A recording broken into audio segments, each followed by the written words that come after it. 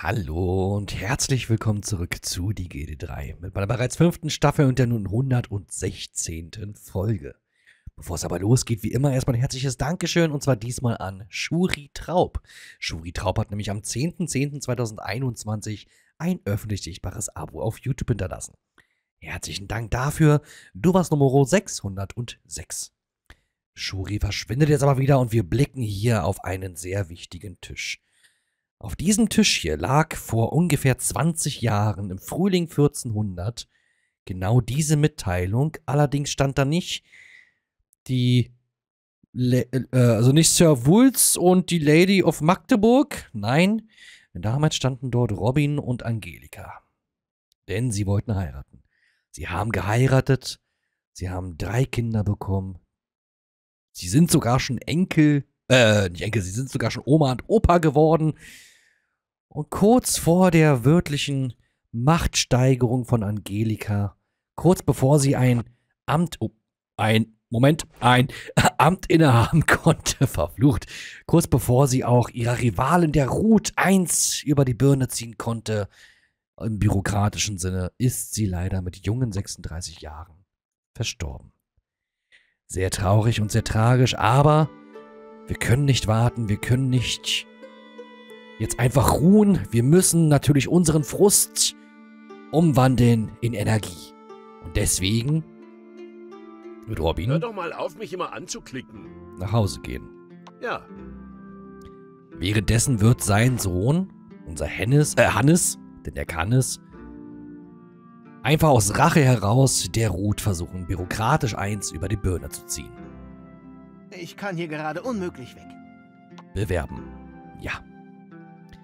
Sie möge in Frieden ruhen und Hannes wird ihr Erbe weitertragen. Können wir uns gerade zufällig noch woanders bewerben? Nein. Also, es wäre möglich für Robin jetzt das Amt zu wechseln auf Zeugmeister und Wachhauptmann, bringt aber nichts. Obwohl, doch, es brächte einen Aufstieg für ihn. Wir hätten dann mehr Punkte. Und ein höheres Gehalt hier in dem Fall. Ja, ja, sogar deutlich mehr Einflusspunkte. Die Hulda Meier würde abstimmen. Wir haben null Ansehen bei ihr. Okay, also hängt es wirklich an der Bürgermeisterin. Oh, und ich sehe gerade, Kämmerer und Seneschall sind beide frei. Wann ist denn hier die nächste Amtsbewerbung möglich? Heute um 16 Uhr. Alles klar. Dann hat sich das erledigt. Ah, hier schon durch, okay. Hier ist noch kein Bewerber drauf. Alles klar. Also, wir merken uns 16 Uhr. Definitiv 16 Uhr. Dann versuche ich Robin nämlich zum Seneschall werden zu lassen. Und dann stehen wir schon auf der Liste der Kandidaten zum Landesherren. Das ist sehr schön. Okay. Ansonsten muss ich jetzt immer wieder mal vormittags und nachmittags in den Ämterbaum reingucken, glaube ich. Um zu gucken, dass ich unsere anderen Verwandten da reinbringe. Aber nun gut. Vor 20 Jahren hat's angefangen. Wir führen es weiter. Wir werden Angelika in Ehren halten, indem wir diese Ruth bekämpfen. So, genug mit der Schnulzerei hier. Wir haben was zu tun. Ich habe kein Geld schon wieder. Ach, Mann. Jemand hat die Bevölkerung gegen euch aufgehetzt. Lass mich raten, Ruth. Oh, nein, diesmal Gödenheimer. Oh. Das ist jetzt aber unhöflich. Damit hätte ich jetzt nicht gerechnet. Das, ähm, mag ich mal so gar nicht. Nun gut. Wir brauchen natürlich für unseren Robin eine neue Frau. Geht nicht anders. Er kann nicht so alleine sein. beschäftigt. Er braucht jetzt definitiv auch Trost. Von empathischen Ohren. möglichst großen empathischen Ohren, weil er hat viel zu erzählen natürlich. Sehr viel Trauer trägt er jetzt in sich. Das heißt natürlich, er bekommt, sobald ich ihn hier finde, da, bekommt er wieder einen Waschlappen. Und für einen Blumenstrauß habe ich jetzt dummerweise keine Wildrosen. Jetzt müssen wir nochmal Wildrosen kaufen. Moment. Marktplatz. Da. Das geht schnell. So, 16 Uhr, nicht vergessen. Das ist jetzt in-game in 5 Stunden. Oh, wenn wir jetzt noch Seneschall werden, dann stehen die Chancen echt gut. Wenn er überlebt, wo man merkt, ich klopfe mal lieber auf Holz, dass wir es echt noch bis zur letzten Sonntagsfolge schaffen, Landesherr zu werden. Hier, Wildrosen. Nimmst du mal 10 Stück. So, 200 Gold, alter Schwede. Nun Das gut. geht schnell. Auf nach Hause mit dir. Ha, nur 199. Ich habe ein bisschen falschen Bonus gehabt. Ein ganz kleines bisschen. Ein Prozent oder so. Warte mal, wo steht denn gerade mein Bonus? Hier steht bei 2. Wow. Alles klar? Gut. Lag die hier mal kurz ab. Stell dann mal kurz welche her. Ach, Moment, das kann er jetzt ja gar nicht. Er ist ja eigentlich woanders angestellt. Ah, wie doof. Ist gerade jemand zu Hause, der das machen könnte und erwachsen ist? Ja, die Daniela. Dessen Mitgift ich total vergessen habe. Feierabend? Was ist das? Äh, warte mal. Ich bin so doof. Ich, hab ich... Ihr wünscht mich zu sprechen? Hier bist ich habe gerade? schon blaue Flecken vom ständigen Anklicken. Ah, ihr seid da beide noch in der Kirche. Hoppla. Ähm, geht mal nach Hause. Gut. Feierabend? Das geht schnell. Ich, ich hab so gewusst, dass ich die vergessen werde. Alle beide. Ich hab so gewusst. Ah, wie doof. Oh, jetzt sind die auch da draußen. Ah. Ah. Ja gut, es dauert nicht lange, bis sie da sind. Ah, und wenn er da ist, ist er wieder Angestellter der Laurentius und dann kann er mal ihm schnell die Blumensträußer herstellen. Das ist doch schon mal sehr wichtig. Die Daniela Ich bin gerade beschäftigt. geht mal ihre Mitgift verkaufen hier am Altstädter Markt. Ich eile. Ja, ja, Eile. Eile und Weile. Denn man hat ihr gleich noch ein bisschen Blumen zu pflücken. Was ist? Äh, wir können schon mal gucken, wie stehen gerade die Chancen? Ich bin 78. erfreut. Es ist mir eine Freude. Es ist mir eine Freude. Hätten wir eine möglichst schöner junge? Tag 84, heute, oder? Magdalena. Level 3. Ja, passt. Die Magdalena merken wir uns mal. Ups, Was? Wie? Ähm, nein. Ich habe nur Escape gedrückt. Okay. Äh, sind sie schon da? Ich kann, ich kann gerade Nein. nicht. Und ich wollte auch eigentlich Laurentius wählen. Ach, wie ärgerlich hier. Jetzt nicht, Moment. bitte. So. Trollinger haben einen neuen Titel erworben. Können sie gerne machen tun, solange sie es nicht gegen mich verwenden. Trollinger war bisher mir gegenüber sehr unhöflich. Bewerberliste geschlossen. So, jetzt müsste ich doch abstimmen können. Ach nein. Doch. Doch, klar. Klar. Für unseren Sohn. Natürlich. Gegen die verhasste Ruth. Wir treffen natürlich die Entscheidung. Natürlich für unseren Sohn. Bisher hat noch keiner abgestimmt. Oder keiner möchte, dass der Posten besetzt wird. Hm. Eigenartig. Schauen wir mal. Wir sehen es ja dann sofort an dem orangenen Namen, wenn er den Torwächter hier zu stehen hat darüber. Also über seinen eigenen Namen. Eieieiei. Ich fände es wirklich gut, wenn es wirklich so ist, dass das einen Ansehensbonus gibt bei der Bewirtung. Wenn Hannes wiederum der Wirt selbst ist und die Amtsinhaber gehen bei ihm was trinken und essen, ist das natürlich Optimum, ne? Aber ich weiß echt nicht, ob das immer noch so ist. Vielleicht sehen wir es ja mit der Zeit. So, Laurentius, lauf bitte ein wenig schneller, wir haben zu tun. Daniela geht schon zum Jemand Markt. mag euch nicht. Was denn? Wer denn jetzt schon wieder? Ich, was hab ich euch denn getan? Ich traue doch nur um meine Frau. Ah, okay. Es ist ein Zufallsereignis. Also, Frau Schmoll, Sie haben Glück gehabt. So, du wiederum wirst jetzt hier mal kurz die Ab... Brett auf... Nein. Sicher, Nein. sicher. Du sollst bitte das hier herstellen. Hey, Moment. Hier war schon jemand schneller. Oh, Lothar. Mensch, danke. Alles klar. Dann wieder abbrechen. Und... Ah, nee, warte. Er macht noch zu Ende. Und jemand macht gerade... Ah, Die ist zu Ende. Produktion wurde unterbrochen. Ja, ja, ich weiß. Ich hab's ja auch gerade abgebrochen. Nee, nicht Helga, sondern Robin. Ich gebe ihm jetzt alle. Mal gucken, ob er sie noch braucht. Dann muss ich noch mal alle durchgucken. Ah, nee, erstmal Daniela. Moment. Daniela, Daniela, Daniela. Verzeiht mir, wenn ich jetzt ein bisschen durcheinander wirke. Es ist bei mir halb vier Uhr morgens. Wo ist Daniela? Ich, ich kann hier gerade unmöglich weg. Achso, sie ist noch gar nicht angekommen. Ja, also, äh, wie gesagt, es ist halb vier Uhr morgens bei mir. Ich kann einfach nicht aufhören. Ich mache einfach nur immer kleine Päuschen zwischendurch und bin einfach so gehypt jetzt im Momentan davon, wie es hier gerade läuft auf dem Spielstand. Und auch mit den ganzen Neuerungen, die ich wirklich, wirklich toll finde. So, jetzt gehst du nach Jawohl. Hause und dann bist du da angestellt.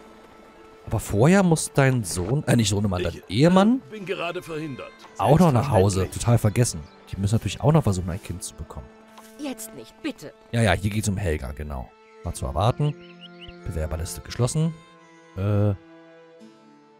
Mein Haus? Da ist mein Haus. So. Achso, Mensch, Robin. Ja, Ist Robin. was? du. Wasch dich. Wird erledigt. Rota ist auch wieder unterwegs. Sehr schön. Oh, da hinten wurde wieder kräftig eingekauft und nur wenig Die verkauft. Produktion wurde unterbrochen. Wo denn jetzt schon wieder? Bin beschäftigt. Lothar. Hä? Was los, Lothar? Was ist dein Problem? Hat er auch noch versucht, einen Blumenstrauß herzustellen und hat aber nicht mitbekommen, dass der gar nicht mehr hergestellt werden soll? Scheint mir so. Sind denn jetzt beide da? Beide sind da. Gut, dann... Ja, komm, die sind beide noch wunderbar fruchtbar. Ja, 100%. Das geht Viel Spaß. Ach, Mensch, da fällt mir ein. mich immer anzuklicken. Ah, gut. Ich, äh, ähm, Alles gut. Alles gut, Robin. Alles gut. Sie sind beide schwanger. Sehr schön. Robin, Und? bist du gewaschen? Ja, bist du. Dann hatten wir die Magdalena uns ausgeguckt. Ist sie denn noch frei? Und wenn ja, wo steht sie? Alida, du kannst aufleveln, falls du es nicht mitbekommen hast. Äh, oh, es hat sich alles wieder neu gemischt hier. Ich muss wieder neu gucken. Schade. So Pi mal Ah, Daumen 20 hier Jahre wäre schön. Dorothea, Level 10. Wie sind ihre kenne Werte? Oh, Charisma 8. Maximum an Level? Okay. Nicht unbedingt die klügste, aber sehr charismatisch. Was ihr wiederum einen hohen Ansehens Ansehensbonus bringt. Ja. Alles klar, die wird sein. Dorothea ist auf welchem Stand? Jungfrau. Also schon höher als wir. Wir heiraten hoch. Bestätigen. Sicher. Ich muss gerade sowieso wieder ein bisschen auf Geld Bin warten. beschäftigt. Für die nächsten Schritte? Ähm. Ach so. ich wollte gerade sagen, hast du es dir jetzt anders überlegt oder worum rennst du? Oh, die ist aber flink unterwegs. Junge, Junge. Dorothea, warte mal. Hallo? Autsch. Oh, jedes Mal dieselbe Ecke, wo ich gegenlaufe. Ah. Da haben wir sie. Äh, Moment. Klugheit bin ich ihr voraus, ne? Ich habe vier, sie hat drei, ne? Zwei. Ich bin hier, ich bin klüger. Charisma kann ich aber mehr punkten, ob... Warte mal. Ich äh, bin gerade verhindert. Ich habe fünf Charisma. Patrouillen müssen Ah. sein. Wie geht's? Das verstehe ich gerade nicht so, ehrlich Ich gesagt. bin gerade beschäftigt. Ja, ja, ich weiß. Ich will dir ja helfen. Gut, nehme nehm ich halt, obwohl ich es nicht verstehe, das hier. Ach nee, Quatsch. Mein Charisma zählt da wieder gegen ihre Klugheit. Ich vergesse das jedes Mal, Meine ne? Dame, ich würde gerne mehr Zeit in eurer fesselnden Gegenwart verbringen. Okay, den Text kennen wir auch schon. Ja, warum nicht? Yippie! Dann, Blümchen? 96%, sehr schön. Das geht schnell. Ähm, junger Mann, würden Sie bitte Ihr Getränk woanders konsumieren? Sie sind ein wenig im Weg. Es ist sehr unhöflich, was Sie da tun. Toast, Toast und noch mehr Toast. Ja, geh doch dein Toast. Ah nee, das ist da hinten. Der Mann, äh, Entschuldigung. Jawohl. Gehen Sie bitte zu... zu auf wessen Hund ist denn... Nein! Warte mal. Hat sie einen Wachhund Habe auf dabei? euch gewartet. Oh, wie geil ist das denn? Jetzt läuft der Wachhund hier mit. Ah, das habe ich ja noch gar nicht gesehen. Der ist mir vorhin schon aufgefallen, als sie hier lang gelaufen sind, die beide. Oh, wie süß. Cool. Ich hoffe, Was dass er gerade...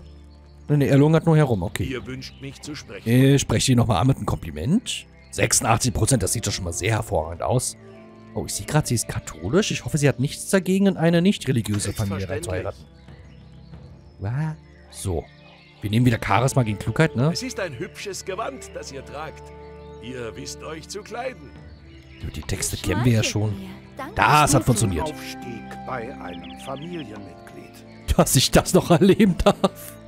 Er wird noch mal klüger. Also. Da noch mal ein bisschen tuscheln. 79%. Schon ein bisschen riskant. Wir probieren es trotzdem. Augen füllen sich mit Freudestränen. So sehr sind sie von eurer Schönheit verzaubert. Das klappt. Das hört man schon manchmal an den Dialogen. Oh, 25. Das hat sie sehr gemocht. Sehr schön. Ja, sie ist fast soweit. Komm, Küsschen. Jawohl, Oh, der mampft in Ruhe sein Brötchen daneben. Besser als Theater, oder, Volker? Moment, Trollinger? Der hat uns getrollt. Mach, dass du Leine ziehst. Der hat drei Minuspunkte mal mitzustehen. Verfatz dich, du, sonst schau dir das Brötchen woanders hin. So. Wir möchten heiraten. Ja, 97%. 3% der Chance, dass sie Nein sagt. Kann passieren. jawohl. Jawohl. Zu Befehl, mein Herr. Meine Dame, wenn ich eure Hand reich, äh, ihr wisst schon. Ich will euch heiraten. Sehr schön. Ihr seid einer Liebschaft eingegangen. So, und diese Ehe werde ich jetzt nicht in der Kirche vollziehen, denn das schulden wir unserer verstorbenen Frau. Jetzt muss ich bloß mal gucken, wo ist denn hier? Da. So, genau diese dort. Das geht schnell. Wenn ich euch meine Hand geben würde, würdet Jemand ihr erwartet sie ein Kind. mich zum glücklichsten Sehr Mann schön. der Welt machen? Wir heiraten jetzt hier sofort an Ort und Stelle. Meine Liebste, ich will euch hier und jetzt heiraten. Ich möchte es offiziell machen und euch heiraten. Aber ich will keine große Hochzeitszeremonie in einer Kirche. Geben wir uns einfach hier und jetzt das Ja-Wort. Ich bin einverstanden, mein Liebster. Sehr schön. Lasst uns hier und jetzt heiraten. Wunderbärchen. 80 Einflusspunkte. Mit diesem Ring nehme ich euch zu meiner Ehefrau. War doch nur 79. Ach nee, eins ist, einer ist wieder hinzugekommen zeitgleich. Okay. Mit diesem Ring nehme ich euch zu meinem Ehemann. Und der Hund kommt mit. Wunderbar. Jetzt haben wir eine Ratte und einen Hund. Jetzt noch eine Katze und einen Esel und einen Hahn und dann können wir nach Bremen ziehen. Obwohl, eine Ratte war nicht dabei. Aber ihr wisst schon, wie ich es meine. Wunderbärchen. Wir sind frisch vermählt. Natürlich, wenn wir auch Selbstverständlich. frisch vermählt Jawohl. Unsere Pflichten erfüllen. Wo ist sie denn? Da. Ich ähm, bin gerade verhindert. Muss natürlich sein. Finde ich. Ich finde es einfach authentischer, wenn der Erbe und die Ehepartner zusammen immer die obersten drei Punkte, äh, obersten drei Ränge in der Dynastie einnehmen. Ich hätte jetzt auch irgendjemand anders nehmen können, natürlich. Achso, warte mal, apropos. Äh, zack. Ich lasse schon wieder nicht die Zeit verstreichen, ich weiß. Daniela anstellen. Tu Erwachsenen-Sachen. Die Enkel sind noch ziemlich jung, ne? Ja, ja, ein Jahr alt. Wenn ihr meine Familie unterstützt, unterstützen wir im Gegenzug. Ist was nun? Ihr seid da? Wunderbar. Dann. Achso, warte mal. Jetzt bin ich ja mal gespannt. Er mit 38, frisch nach dem Verlust seiner Ehefrau. Immer noch 100%, alles klar. Also, das ist Dauerproduktion, ne? Da geht nichts verloren bei ihm. Der lässt nur nichts anbrennen. Wunderbar. Dann. Küsschen brauchst du nicht, oder? Was ist? Nee, ist ja 100%, wunderbar. Ich bin zur Stelle. Machen wir's. Oh, 50% nur? Oh, mit 24 ist sie doch nicht mehr so fruchtbar, obwohl die Ruth mit 36 und sechs Kindern immer noch 48% oder so ähnlich hat. Wow. Alles klar. Dann muss es doch ein. Küsschen sein. Äh, Laurentius, du störst ein wenig. Ich weiß, du warst schon immer der eigenartigste von den dreien, aber bitte geh. Was ist? Du weißt ja, wie das funktioniert. Du hast es eben gerade noch selbst probiert und geschafft. Sie tanzen noch die beschäftigt. beide. Alles klar. Ach Mensch, ich lasse schon wieder auf Halbzeit laufen. Ja, Mann, es tut mir leid, Leute. So langsam lässt die Konzentration doch nach, aber ich zieh's noch schön durch. So, ähm, hier? Nee, da? So. wir im Gegenzug euch. 61% schon deutlich besser. Wird erledigt. Drücken wir mal die Daumen. Vielleicht wird es echt noch ein Vierter. Wer weiß, vielleicht sogar ein Supertalent. Ein würdiger Vertreter vom Hannes dann. So, wie sieht's eigentlich aus hier mit dem Geld? Ich, ich hätte gern welches. Wo ist es? Kuchen sind in Produktion? Nö. Es fehlt wieder an Fett. Nur neun Fett? Oh je. Aber, ich habe ja jetzt wieder, ne? Ich brauche aber dafür 6000 Gold für, das für den Lagerraum. Und dann ziehe ich es aber durch, dass ich den Lagerraum hier wirklich reinsetze. Und die Produktion komplett darauf anpasse. Oh, Bratwurst für 500 verhökert. Nice. Jetzt habe ich es endlich gesehen. Da war ich beim letzten Mal zu nah dran einfach. Das ist immer überm Gebäude. Alles klar. Das sieht man gerne. Wenn die Bratwurst für 500 rausgeht, immer her damit. Moment, warum habt ihr Obst hier rumliegen? Ach, das war Startgut, ne? Ja, okay, das war zum Start. Oh, schön, für 500. Normalerweise bringt die Bratwurst deutlich weniger. Wenn man sie direkt verkauft. Hier, für 300 irgendwas. Sehr gut. Sehr, sehr gut. Äh, hat's denn funktioniert? Ich bin zur Stelle. Oh, Feierabend? Leider nicht. Was ist das? na gut. Dann tut erstmal eure Dinge.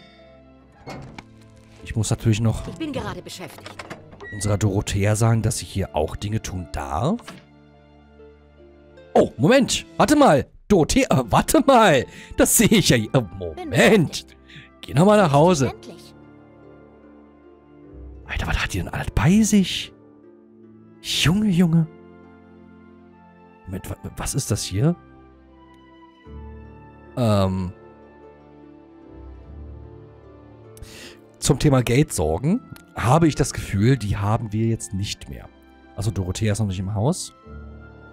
Jetzt ist sie im Haus. So. So. Was bringt das? Heimlichkeit minus Ansehensbonus? Machen wir so. Dorothea, ich will dich wirklich nicht ausnutzen, aber du bist jetzt meine Frau Sicher. und deswegen wirst du auch alles für die Dynastie tun müssen. Also gib gefälligst dein Erbe weg.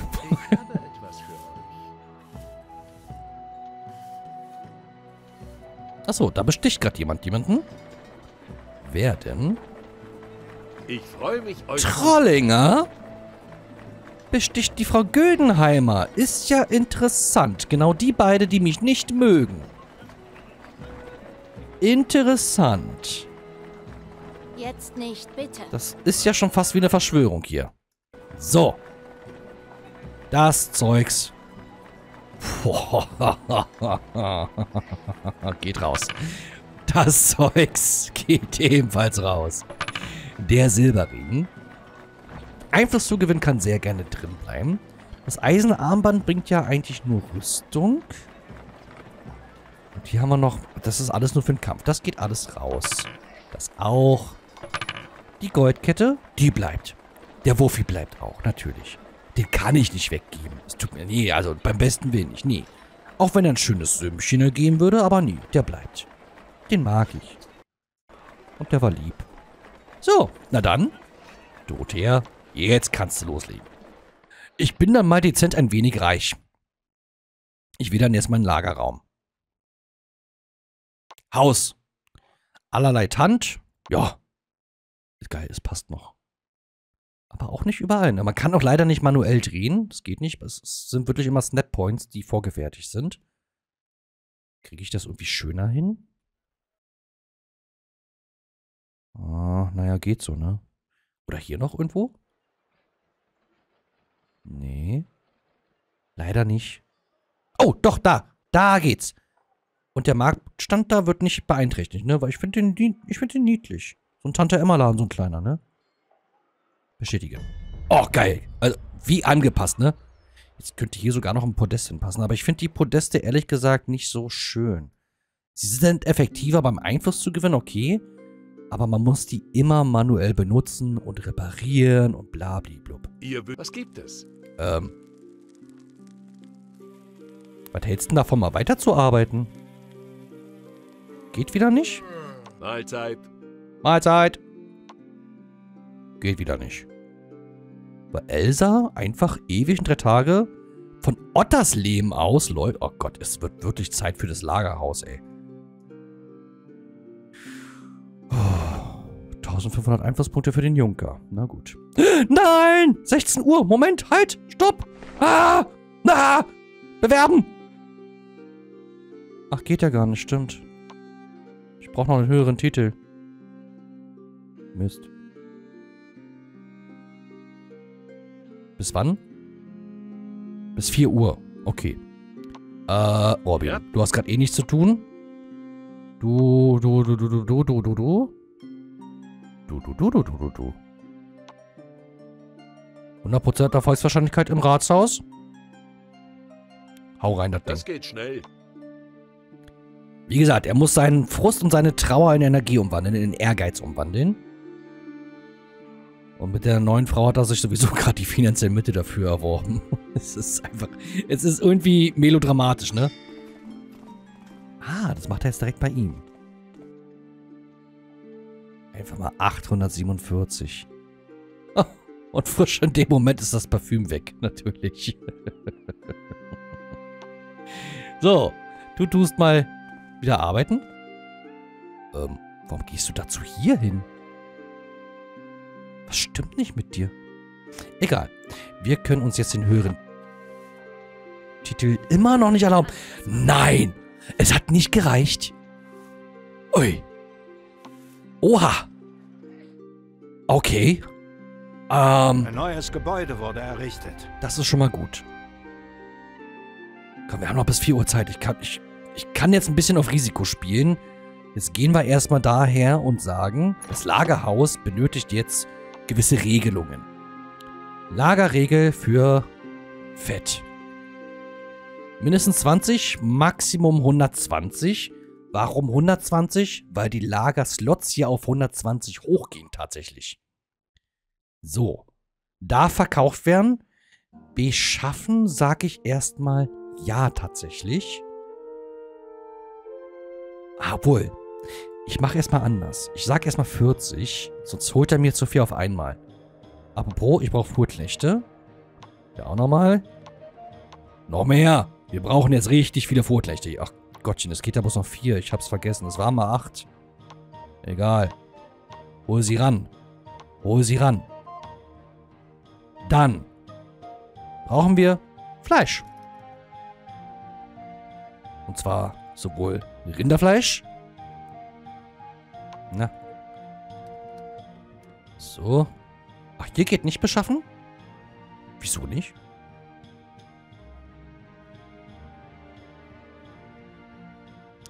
Nein, ihr sagt bloß, der geht ja automatisch danach, was ich herstelle und was nicht. Aber dieses Beschaffen ist doch hier für den, für den Einkauf gedacht, ne? Wenn diese Option aktiviert wurde, werden automatisierte Vorknechte alle jene Gegenstände beschaffen, die für die Produktion benötigt werden. Sie werden außerdem versuchen, den Lagerstand dieser Waren mindestens auf dem jeweiligen Min-Bestand zu halten. Zusätzlich werden automatisierte Arbeiter diese Waren nicht produzieren, da sie erwarten, dass die Ware... Ja, okay. So, zack, da ging gerade Farnbräu und Wurst rein und wieder raus.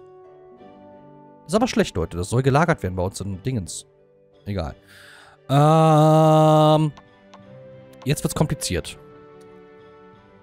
Das ist 4 Uhr morgens. Schön. Okay.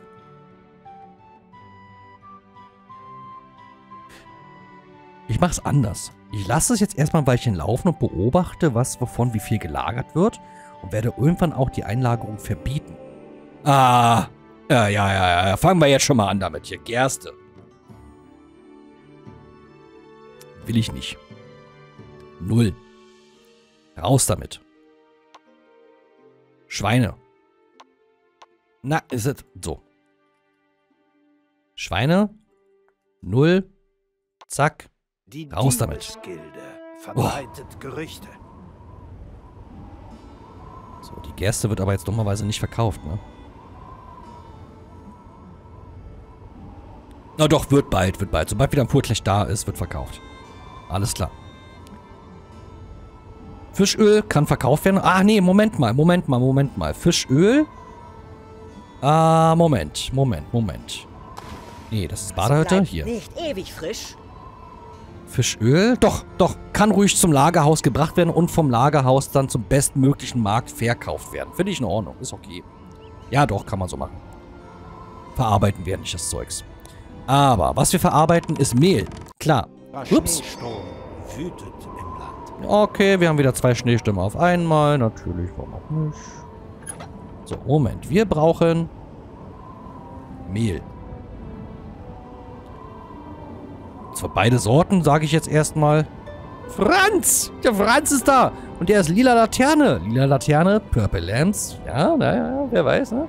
So, ihre Wahrnehmung ist beinahe einzigartig. Ihr seht fast alles, egal bei hellem, äh, ob bei hellem Tageslicht oder in der schwärzesten Nacht. Damit kriegt ihr eine, höhere Aufmerksamkeit und auch komischerweise Kraft. Franz, Franz muss sein. da kommen die Zwillinge. Der dritte kriegt die Zwillinge. Alles klar. Also das ist echt so eine Dopplerfamilie, ne? Zwei Frauen, Doppelhochzeit, Zwillinge. Ah, schön. Kunigunde. Ach, jetzt habe ich nicht geguckt, ob sie äh, Dingens hatte. Egal. Hier gehen wir auf 40 wieder, genau. Hier wir wieder 20. Da auch wieder 40. Oh. So. Aber Gerste an sich habe ich doch wirklich verboten, ne? Nein, habe ich nicht. Ich hatte Gerstenmehl drin, ich Depp. So. Es soll nicht geholt werden. Es soll verarbeitet werden und dann verarbeitet hergebracht werden.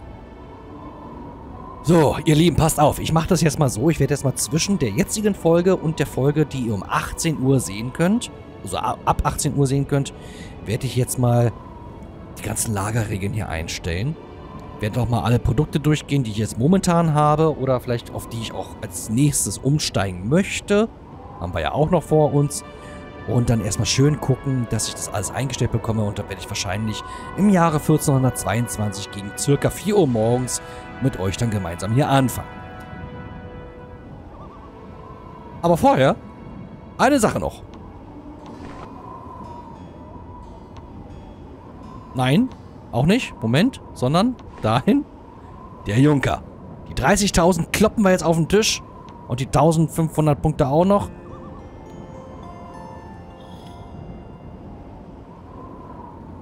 Glückwunsch. Euer unermüdlicher Tatendrang hat euch die Erlaubnis eingebracht, einen neuen Titel tragen zu dürfen. Junker. Sehr schön. Damit darf ich jetzt jemanden auf eine Überseereise schicken. Das ist sehr rechtschaffen, sehr großzügig und sehr diplomatisch. Außerdem, wie bei einer Fernreise, könnt ihr auch bei der Überseereise ein erwachsenes Mitglied eurer Dynastie ausschicken, um euch Kunde und das eine oder andere Wertvolle von fernen Orten zu bringen. Allerdings ist eine Überseereise langwieriger und durchaus gefährlicher. Dafür könnt ihr hier sicherlich mehr erwarten. Kostet aber auch saumäßig viel Geld, wie man sieht, ne? Dann gibt es noch die Möglichkeit, jemanden an den Hof des Monarchen zu senden. Mit dieser Maßnahme könnt ihr eines eurer Kinder, welches nicht euer Erbe ist, für ein paar Jahre an den Hof des Monarchen entsenden. Dort wird euer Kind in der hohen Kunst der Politik unterrichtet und die Bürger werden da ob nur in den höchsten Tönen über euer Kind sprechen. Eure Kinder können jeweils nur ein einziges Mal an den Hof gesandt werden. Auch saumäßig teuer, aber guckt euch mal an, was es an Einflusspunkte bringt. Einfach mal drei fette tausend Einflusspunkte plus Ansehensbonus. Plus Erfahrungspunkte plus der Bonus. Also das zahlt sich dann schon richtig aus, wenn man die Knete dafür gerade übrig hat. Und ab jetzt dürfen wir einer Gilde beitreten oder auch wieder austreten. Ab jetzt darf ich auch ein riskantes Würfelspiel in der Taverne spielen, was dann schon wieder eher in die, ja, nicht so hellen Machenschaften geht. Und, weswegen ich den ganzen Bums jetzt gemacht habe, das höchste Amt darf nun betreten werden. Das höchste, äh, die, die höchste Ebene, so rum. Noch nicht das ganz höchste Amt, ne? Denn zum Landesherren fehlt mir noch ein Bürgerstatus. Den brauchen wir noch unbedingt. Sonst geht's nicht. Wir müssen Adelstand erreichen. Problem ist jetzt nur natürlich, wie mir einfällt, ich kann die Bewerbung immer noch nicht absenden. Ich brauche zum Bewerben 350 Erfahrungs äh, Einflusspunkte. Mist. Aber ihr Lieben, lange Überlänge, wieder mal wieder ein paar Minuten drüber. Ich hoffe auf jeden Fall, dass es euch gefallen hat. Wenn ihr mehr sehen wollt, schaltet einfach um 18 Uhr wieder rein. Ciao.